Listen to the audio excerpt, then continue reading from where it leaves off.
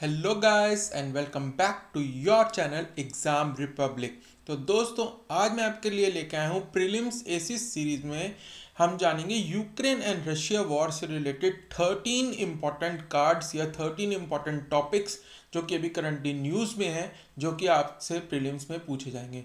दोस्तों, ये मैंने अपने एक्सपीरियंस के हिसाब से सिलेक्ट किए हैं, जो जो मैंने यूपीएससी या किसी भी स्टेट लेवल एग्ज़ाम में जो भी क्वेश्चंस आए हैं उन्हीं के बेसिस पे मैंने इन टॉपिक्स को सिलेक्ट किया है, जो कि आपसे पूछे जा सकते हैं प्रीलिम्स एग्जामिनेशन में। तो दोस्तों, यदि आप नए हैं आप हमारे चैनल पे तो दोस्तों, मैं आपसे ये नहीं कहूँगा कि आप अभी सब्सक्राइब कीजिए वीडियो को अंत तक देखिएगा। अगर आपको पसंद आए कंटेंट यूजफुल लगे तो ही आप हमारे चैनल को सब्सक्राइब कीजिएगा। और यदि आप सब्सक्राइब करते हैं तो वो उससे बड़ा कोई रिवॉर्ड हमारे लिए होता नहीं है तो सब्सक्राइब कर लेना अगर वीडियो पसंद आए। तो दोस्तों, जैसे कि मैंने कहा, इसके अंदर हम थर्टीन कार्ड्स जैसे एक स्वीट के होते हैं किसी भी डेक ऑफ़ कार्ड्स में, वैसे ही हम थर्टीन इंपॉर्टेंट कार्ड्स देखने वाले हैं या थर्टीन इंपॉर्टेंट टॉपिक्स देखने वाले हैं, जो कि आप अभी स्क्रीनशॉट में जो थंबनेल है, उसमें आप देख पा रहे होंगे, ये ये टॉपिक्स हम कवर करेंगे। तो आइए दोस्तों, शुरू करते हैं हम आज का ये वीडियो तो इंपॉर्टेंट टॉपिक्स कौन कौन से देखने वाले हैं, वो देख लेते हैं। सबसे पहले डॉनबास रीजन के बारे में जानेंगे। Operation Ganga NATO C S T O SWIFT बहुत न्यूज़ में रहा है। अभी इसके बारे में जानेंगे बहुत अच्छे से, क्योंकि ये क्वेश्चन ऑलरेडी पूछा गया है। तो अब तो ये न्यूज़ में है तो बहुत ज़्यादा चांसेस के पूछ जानेंगे। क्यूबा मिसाइल क्राइसिस के बारे में जानेंगे। जियोग्राफी ऑफ़ द रीजन जो यूक्रेन रशिया के आसपास की रीजन है, उसकी जियोग्राफी के बारे में जानेंगे। बहुत ही इंपॉर्टेंट क्वेश्चन बनते हैं वहाँ से, और पूछे भी जाते हैं। तो ये देखेंगे हम। फिर देखेंगे हम head of states of the regions कौन कौन है, जो कि अभी न्यूज़ में है। यूएनएससी सिक्योरिटी काउंसिल और जनरल असेंबली के बारे में जानने वाले हैं। European union. वैक्यूम बॉम्ब अभी बहुत ही एक इंपॉर्टेंट न्यूज़ में रहा है। ये प्रोहिबिटेड है और इसको कहा गया है कि रशिया ने यूज़ किया है यूक्रेन पे। तो ये क्या होता है, इसके बारे में जानेंगे। पार्लियामेंट्स ऑफ़ द वर्ल्ड के बारे में जानेंगे। ड्यूमा आपने सुना होगा क्रेमलिन सुना होगा भी बहुत न्यूज़ में। तो इनसे रिलेटेड कौन से क्वेश्चन बन सकते हैं, ये देखेंगे। और इकोनॉमीज एट स्टेक देखेंगे लास्ट में। जिसमें कि हम जानेंगे कि क्या क्या इकोनॉमिक स्टेक्स हैं इंडिया के लिए और वर्ल्ड के लिए इस वॉर के अंदर। ठीक है तो दोस्तों ये तेरह टॉपिक्स हैं, हम दो वीडियो में कवर करने वाले हैं। पहले के छः टॉपिक्स आज के वीडियो में कवर करेंगे और कल मैं आपके लिए लेके आऊँगा बचे हुए टॉपिक्स तो दोस्तों, पहला टॉपिक देखने थे, शुरू करते थे डॉन बैस रीजन तो दोस्तों, जैसे कि मैंने कहा है कि आपसे ये मैंने क्वेश्चन या टॉपिक्स उसी बेसिस पे सिलेक्ट किए हैं जो कि पूछे जा चुके हैं। तो ऐसे ही जब सीरियन वॉर चल रही थी तो इसराइल और जॉर्डन के जो बॉर्डर पे एक गोलान हाइट्स करके जगह है तो यूपीएससी ने पूछा था कि गोलान हाइट्स क्या है? तो उसमें बहुत आपको ऑप्शन ऐसे देंगे कि आप कंफ्यूज हो जाएँगे। गोलान हाइट्स आपको दे देंगे कि एस्ट्रोनॉमी से रिलेटेड है, कोई स्टार है, या फिर कोई वॉर प्लेस है तो उसमें से आपको सिलेक्ट करना होगा कौन सा तो उस समय आप कन्फ्यूज़ होंगे। तो इसीलिए गोलान हाइट्स पूछा गया था तो डॉन बेस रीजन अभी बहुत न्यूज़ में है। ये मैं आपको मेंस बूस्टर शॉर्ट वीडियो में ऑलरेडी इसके बारे में डिटेल से समझा चुका हूँ डॉन बेस रीजन के बारे में, जिसका कि लिंक आपकी स्क्रीन पे समय फ्लैश कर रहा होगा, जिसको क्लिक करके आप देख सकते हैं। तो डॉन बेस रीजन दोस्तों ईस्टर्न यूक्रेन जहाँ पे कि युद्ध चल रहा है, उसके जो सेपरेटिस्ट जो दो प्रोविंस हैं, या स्टेट्स कह सकते हैं आप उन्हें, जिन्हें कि रशिया ने अभी अभी डिक्लेयर कर दिया है इंडिपेंडेंट रिपब्लिक डिक्लेयर कर दिया था वॉर करने से पहले फेबररी में तो उस रीजन को कहा जाता है डॉनबैस रीजन तो ये कौन कौन सी प्रोविंस हैं? डोनेस्ट एंड लुहानस्क तो ये आपको याद रखना है। और डॉनबैस रीजन किससे रिलेटेड है? ईस्टर्न यूक्रेन से रिलेटेड है। और ये दो रीजन है इसके अंदर। और ये रीजन किस लिए फ़ेमस है? फैक्ट्रीज के लिए या कमर्शियल एक्टिविटी के लिए बहुत फ़ेमस है। ठीक है तो पहला टॉपिक है डॉन बेस रीजन तो पहला कार्ड आपने याद कर लिया। डॉन बेस रीजन जो है, वो ईस्टर्न यूक्रेन से रिलेटेड है। ऑपरेशन गंगा अभी बहुत न्यूज़ में आ रहा है तो ऑपरेशन गंगा के बारे में जान लेते हैं। तो ऑपरेशन गंगा में क्या है कि बेसिकली ये जो है, ऑपरेशन कराया जा रहा है इंडियन गवर्नमेंट द्वारा to bring back Indians stranded in Ukraine जो यूक्रेन में हमारे इंडियंस रह गए हैं स्पेशली स्टूडेंट्स जो हैं वहाँ पे मेडिकल के, उनको वापस लाने का काम किया जा रहा है ऑपरेशन गंगा के नाम से। तो ये आपको याद रखना है ऑपरेशन गंगा। इसके लिए ट्विटर हेल्पलाइन भी इन्होंने शुरू करी थी, गवर्नमेंट ने ओपी गंगा हेल्पलाइन ठीक है? और इसके अंदर आप क्या hashtag O P Ganga helpline डाल लिखेंगे ट्विटर पे तो आप उसके अंदर सारी एडवाइजरीज जो एम्बेसी शेयर करता है इवैक्यूएशन का प्रोसेस कैसे कैसे है, वो आप सारा इससे देख सकते हैं, जो कि स्टूडेंट्स वहाँ फंसे हैं वो देख सकते हैं, ठीक है? और twenty four seven control centre शुरू किए गए थे ऑपरेशन गंगा के थ्रू और जो इवैक्यूएशन है वो हंगरी पोलैंड रोमेनिया और सोलवाक रिपब्लिक जैसी कंट्रीज़ जो कि बॉर्डरिंग कंट्रीज़ हैं यूक्रेन की, उनसे करवाया जा रहा है। वहाँ पे मिनिस्टर्स को भी भेजा गया, आपको जैसे पता ही होगा। तो ये सब कराया जा रहा है ऑपरेशन गंगा के थ्रू तो ये तो दोस्तों था ऑपरेशन गंगा। लेकिन इससे रिलेटेड क्वेश्चन क्या आ सकता है कि आपको टेबल दे दी जाएगा ऑपरेशन के नाम दे दिए जाएँगे और आपको कहा जाएगा ये किससे रिलेटेड है। फॉर एग्ज़ाम्पल मैं आपको पास्ट के कुछ ऑपरेशन दिखाता हूँ कि कौन कौन से इंडिया ने करे थे इवेक्वेशन से रिलेटेड तो ये टेबल है दोस्तों, इसका स्क्रीनशॉट आप ज़रूर ले लेना। बहुत इंपॉर्टेंट क्वेश्चन बन सकता है इससे। वंदे भारत मिशन 2020-21 में कराया गया था कोविड रिलीफ के लिए। जो कोविड में हमारे इंडियंस फंस गए थे बाहर उनके लिए कराया गया था Vande Bharat mission. Kuwait airlift ये 1990 में कुवैत में किया गया था। इवैक्यूएशन प्रोसेस जॉर्डन के थ्रू कराया गया था। ये आपने इस पर मूवी भी बनी है वो भी देखी होगी अक्षय कुमार जी की। तो वो है ये 1990 कुवैत एयरलिफ्ट ठीक? फिर ऑपरेशन राहत वेरी इंपॉर्टेंट 2015 में कराया गया था येमन से। तो येमन से जो युद्ध चढ़ा था छिड़ा था वहाँ पर जो आ, हमारे इंडियंस फंसे थे उनको निकालने के लिए ऑपरेशन कौन सा कराया गया था? राहत।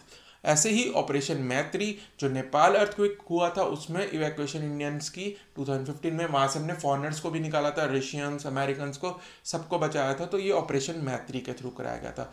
ऐसे ही था ऑपरेशन होम कमिंग ये लीबिया में जो सिविल वॉर हुई थी, गद्दाफी जी को जब मारा गया था तो वहाँ से जो इंडियंस को लाया गया था, उसको कहा गया था ऑपरेशन होम कमिंग ऑपरेशन समुद्र सेतु, ये भी लास्ट ईयर कराया गया था 2020 में सॉरी कोविड रिलीफ के लिए था। ये हम हेल्थ जो ह्यूमैनिटेरियन एड भेज रहे थे और इवैक्यूएशन भेज रहे थे इंडियन ओशन कंट्रीज़ के लिए, उसको, उससे रिलेटेड है ये।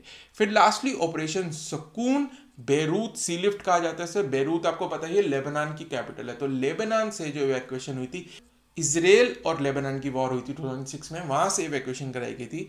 तो उसके रिलेटेड था ये इवैक्यूएशन ऑपरेशन सुकून। तो ये सारे ऑपरेशन सबसे पूछे जा सकते हैं कॉप फॉलोइंग में भी पूछे जा सकते हैं। ऑपरेशन गंगा क्योंकि न्यूज़ में, इसलिए हम ये पढ़ रहे हैं। ठीक है? अब देख लेते हैं नेटो के बारे में। नेटो का मैं ऑलरेडी आपको मेंस बूस्टर शॉट सीरीज़ में बता चुका हूँ, जो कि मैं आपको पहले भी लिंक शेयर करा हुआ है। तो उसके अंदर ये डिटेल में समझा चुका हूँ, फिर भी एक बार रिपीट कर लेते हैं, जो इंपॉर्टेंट इससे रिलेटेड नेटो बहुत न्यूज़ में रहा है कि सपोर्ट कर रहा है यूक्रेन को कि आप लड़िए, हम आपको सामान देंगे। मैन ऑन द ग्राउंड नहीं देंगे, पर आपको हम सामान देंगे, युद्ध के लिए और फाइनेंशियल एड देंगे, ठीक है, रशिया के केस तो नेटो है क्या बेसिकली तो नेटो है नॉर्थ अटलांटिक ट्रीटी ऑर्गेनाइजेशन इसकी फुल फॉर्म है, और इसको कहा जाता है नॉर्थ अटलांटिक अलायंस और ये है क्या basically intergovernmental military alliance between 27 European countries two North American countries and one Eurasian country और ये क्या कहता है? The organisation implements North Atlantic treaty जो कि साइन की गई थी 4 अप्रैल 1949 को। तो दोस्तों बेसिकली क्या है?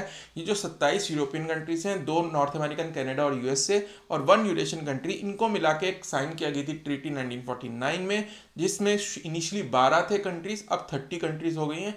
तो इसके अंदर कहा गया कि अगर वॉर अगर किसी एक कंट्री के गेस्ट होती है, इन थर्टी कंट्रीज़ में से तो उसको माना जाएगा कि सबके थर्टी के गेस्ट वॉर छेड़िए एक कंट्री ने और सारी की सारी थर्टी कंट्रीज़ एक साथ बचाने के लिए आ जाएँगी, जिस कंट्री पे वॉर हुई है उसको। तो यूक्रेन जो है वो इसका मेंबर बनना चाहता था, यही मेन कंटेशियस पॉइंट है वॉर का, रशिया का, यूक्रेन में। रशिया कहता है कि ये नेटो में चला गया, यूक्रेन तो बहुत बॉर्डर्स पे आ जाएँगी हमारे नेटो की मिसाइल्स इसलिए यूक्रेन का नेटो में जाना सही नहीं है, इसीलिए वो वॉर कर रहा है। तो नेटो में ये थर्टी कंट्रीज़ हैं, ठीक है? थोड़ा सा और जान लेते हैं नेटो के बारे में। ये कलेक्टिव सिक्योरिटी सिस्टम है, जैसे कि मैंने बताया कि म्यूचुअल डिफेंस करेंगे हम कि अगर एक पे डिफेंस होगा, किसी एक्सटर्नल पार्टी से अटैक होगा तो उसको माना जाएगा कि वो सब पे एक अटैक है। इसका हेडक्वार्टर है ब्रसल्स, बेल्जियम में और इसकी जो कमांड यानी कि मिलिट्री कमांड जो है, इनकी ज्वाइंट उसका हेडक्वार्टर है मॉन्स, बेल्जियम में। वेरी इंपॉर्टेंट दोनों आप याद कर सकते हैं। सेक्रेटरी जनरल नेटो के हैं जेंस स्टॉलनबर्ग ये अभी क्वेश्चन पूछा जा सकता है क्योंकि वो रोज़ आते हैं न्यूज़ में शाम को, आप देखते ही होंगे। अपना एक प्रेस रिलीज़ देते हैं या प्रेस मीडिया से अपनी क्या क्या उन्होंने स्टेप्स लिए वो बताते हैं। तो जेंस स्टॉलनबर्ग ये आपको याद रखना है सेक्रेटरी जनरल है नेटो के। फिर इसमें इनिशियली बारह कंट्रीज़ थी, अब थर्टी हो गई हैं, जैसे कि मैंने बताया ईस्टवर्ड एक्सपेंशन हो रही है नेटो की, इसलिए रशिया ने अटैक करा, ये वो रीज़न देता है। इसकी जो मोस्ट रिसेंट कंट्री ऐड हुई थी, मार्च 2020 में हुई थी, नॉर्थ मैसेडोनिया।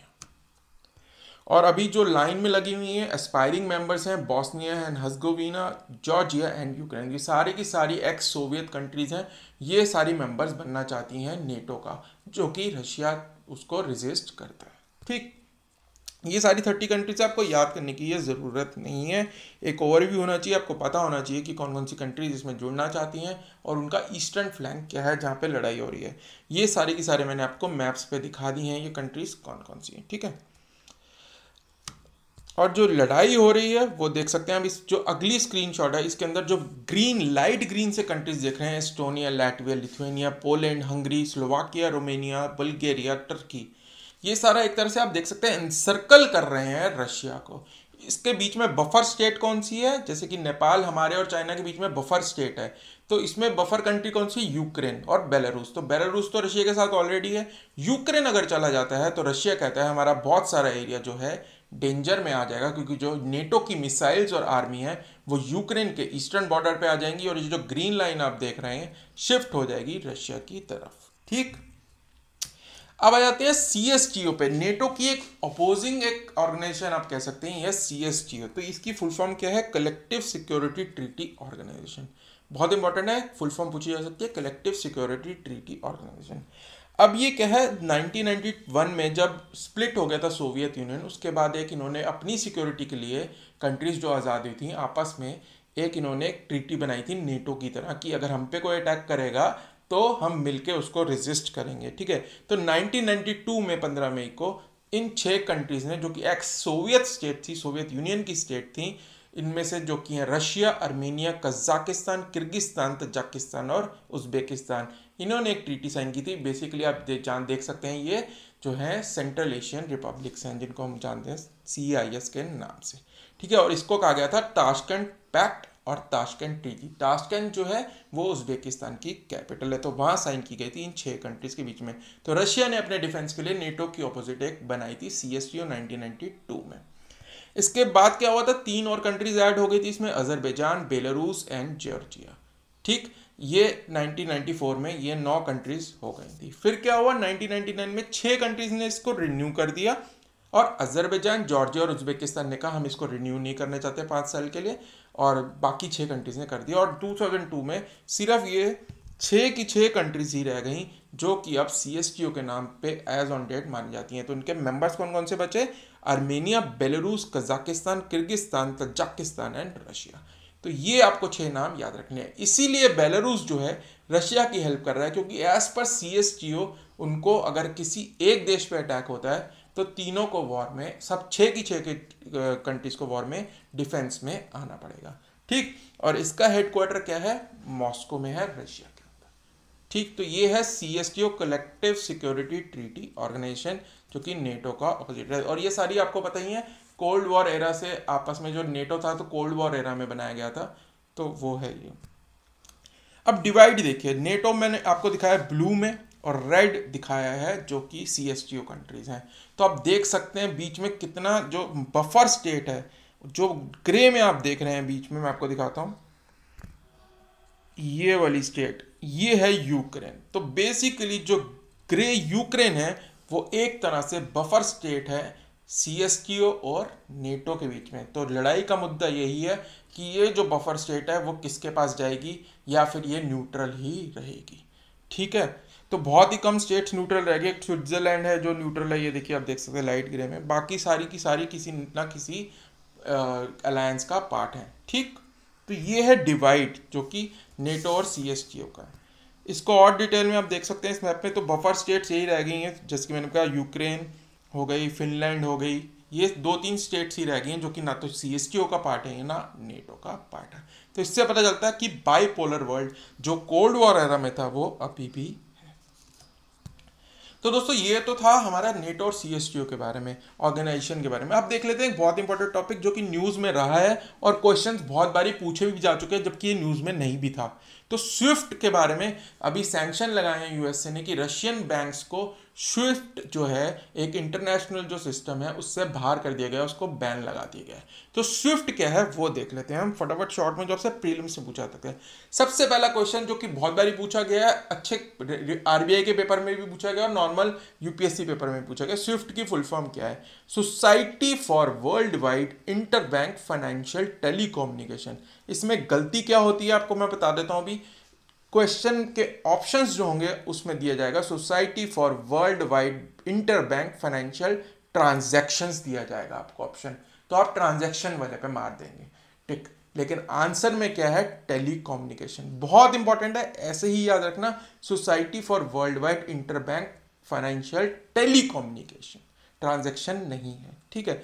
तो ये बेसिकली क्या है, एक सिक्योर प्लेटफॉर्म है, जिसके अंदर की फाइनेंशियल इंस्टीट्यूशन यानी अलग अलग देशों के जो बैंक्स हैं, वो आपस में इंफॉर्मेशन एक्सचेंज करते हैं फॉर जो ट्रांजेक्शन दे हैव डन जो उन्होंने ट्रांजेक्शन की हैं, उसकी जो इंफॉर्मेशन है, वो इसमें हम एक्सचेंज करते हैं डिफरेंट बैंक्स एक बैंक को एक स्पेसिफिक स्विफ्ट कोड दिया जाता है, उसके बेसिस पे ही ट्रांजैक्शन की जाती है और वो इन्फॉर्मेशन एक दूसरे से शेयर करते हैं। तो बेसिकली ये जो है ये एक्चुअल मनी ट्रांसफ़र में काम नहीं आता है एक्चुअल मनी ट्रांसफ़र इसके थ्रू नहीं होता है। ये सिर्फ़ मिडलमैन का काम करता है, जो कि वेरीफाई करता है ट्रांजैक्शंस को। ये सिर्फ़ वेरिफिकेशन का काम करता है।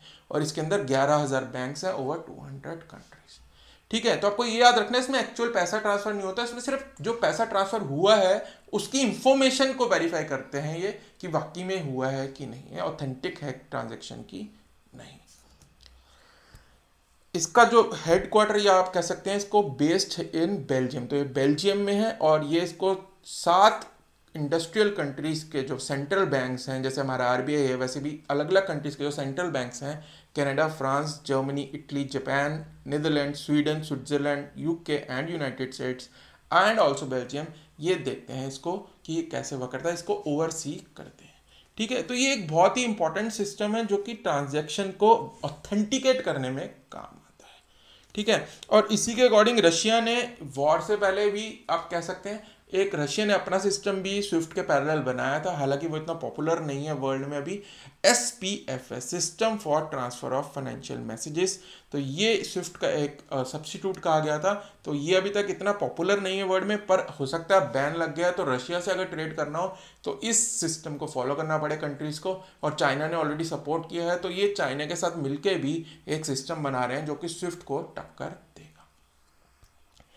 आज के वीडियो में हम आखिरी कार्ड देख लेते हैं, यानी कि आखिरी टॉपिक देख लेते हैं क्यूबा मिसाइल क्राइसिस या क्यूबन मिसाइल क्राइसिस ठीक है तो ये जो अभी हो रहा है, ऐसा ही ये पहली बार नहीं हुआ है कोल्ड वॉर में ऐसा पहले एक बार ही हो चुका था, जब वर्ल्ड जो है वो न्यूक्लियर वॉर की कदार पे आ गई थी। तो क्यूबन मिसाइल क्राइसिस कहा गया क्यूबा एक कंट्री है कैरेबियन में। ठीक है, वो मैं आपको मैप में दिखाऊँगा। वेस्ट इंडीज जिस एरिया को कहते हैं, वहाँ पे एक छोटी सी कंट्री है क्यूबा जो कि अमेरिका के बहुत पास है और ये कम्युनिस्ट कंट्री है, ठीक है। फीडल कैस्ट्रो आपने नाम सुना होगा, वो इनके हेड रहे हैं बहुत समय तक, अभी जब तक वो एक्सपायर नहीं हुए थे रिसेंटली तो वो इनके हेड ही रहे थे। तो ये 1962 में क्या हुआ था? ये रशिया के इन्फ्लुएंस में रशिया ने यहाँ पे न्यूक्लियर मिसाइल्स अपनी लगा दी थी, जो कि अमेरिका को बहुत खतरा रहता ठीक है? तो रशिया कहता है कि जब हमने मिसाइल लगाई थी क्यूबा में 1962 में तो आप आपको लगा था कि आप अमेरिका की धरती को बहुत ज़्यादा खतरा है। जब आप यूक्रेन नेटो को एक्सपेंड कर लेंगे और यूक्रेन को अपने अंडर ले आएँगे तो हमारे बॉर्डर्स पे आप मिसाइल लगा देंगे तो क्या हमें खतरा नहीं है? तो इसीलिए वो इतनी देर से रेजिस्ट कर रहा है कि वॉर ना हो, पर उन्होंने फाइनली सात साल बाद इस पर वॉर करने का फैसला लिया यूक्रेन पे। तो ये एक हुए थे 1962 में, इसको कहा जाता है अक्टूबर क्राइसिस ऑफ़ 1962 और करीबियन क्राइसिस। ठीक है, और ये एक महीना चार दिन तक चले थे, और ये अमेरिका ने इसके रिस्पांस में इटली और टर्की में, जो कि नेटो एलाइज हैं इसके, वहाँ पे अपनी मिसाइल्स लगाई थी, और सोवियत यूनियन ने लगा दी थी क्यूबा के अंदर। तो ये आप मैप में भी देख सकते हैं, एक छोटी सी कंट्री है, सेंटर ऑफ़ द सर्कल जो है, आप एपी सेंटर कह सकते हैं, क्यूबा। इसकी कैपिटल क्या है? हवाना। तो यहाँ पे इन्होंने लगा दिए थे, और ये आप देख सकते हैं मैप में कि इनकी जो मिसाइल्स की रेंज थी वो बहुत ही मतलब पूरा का पूरा यूएस से इनकी जो न्यूक्लियर मिसाइल्स हैं सोवियत यूनियन की, उसकी कवरेज में आ गया था यहाँ मिसाइल्स लगाने पे। ठीक है? तो ये इट इज़ द क्लोजेस्ट कि हम न्यूक्लियर वॉर के पहुँचे थे 1962 में, और सोवियत यूनियन सिर्फ़ 90 मील दूर रह गया था फ्लोरिडा से। तो फ्लोरिडा के तट से, यानी कि कोस्ट ऑफ़ फ्लोरिडा से सिर्फ़ 140 किलोमीटर दूर थी ये मिसाइल्स तो इसलिए अमेरिकन सिक्योरिटी को खतरा था। तो इसलिए ये एक वॉर का मुद्दा उस समय बन गया था। तो ऐसे ही अभी यूक्रेन में मिसाइल लगाना रशिया के लिए बहुत ज़्यादा खतरा हो जाएगा। ये रशिया का कहना है। इसलिए ये टॉपिक इम्पोर्टेंट ठीक है, फिर इसको सुलझा लिया। गया था जॉन ऑफ़ कैनेडी, उस समय वहाँ के प्रेसिडेंट थे यूएसए के, और जो सोवियत यूनियन के हेड थे, वो थे खुरशॉफ तो इन्होंने मीटिंग करके इसको सुलझा लिया था, और ये कहा गया था अपनी अपनी मिसाइल्स हम इटली और टर्की से हटा लेंगे, और आप सोवियत यूनियन की जो है, वो क्यूबा से हटा लीजिए। दोस्तों, क्यूबा के बारे में मैं आपको एक चीज़ और बताना चाहता हूँ। रिसेंटली क्यूबा पे अमेरिका ने इतने सेंक्शंस लगा रखे हैं कि वहाँ पे अभी तक, पिछले साल तक लास्ट ईयर ही इंटरनेट आया था। हमारे यहाँ पे इंडिया में 20-25 साल हो गए इंटरनेट को आए हुए।